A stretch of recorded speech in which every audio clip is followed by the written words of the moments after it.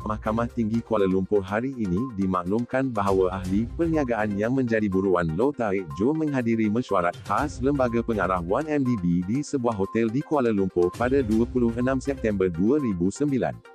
Bekas setiausaha firma milik negara, 1MDB Lim Poh Seng memberi keterangan bahawa Low, yang juga dikenali sebagai Jo Low, hadir pada mesyuarat yang diadakan di Royal Bintang Damansara. Semasa perbicaraan dakwaan pindaan laporan audit 1MDB terhadap bekas Perdana Menteri Najib Razak dan bekas CEO firma itu, Arul Kanda Kandasai, hari ini, saksi pendakwaan ke-9 Lim mengesahkan salinan minit mesyuarat. Najib dituduh menggunakan kedudukannya untuk mengarahkan pindaan terhadap laporan audit akhir 1MDB sebelum dikemukakan kepada jawatan kuasa kira-kira wang negara untuk mengelakkan tindakan terhadapnya tertuduh bersama Arul Kanda didakwa bersubahat dengan Najib dalam membuat pindaan tersebut.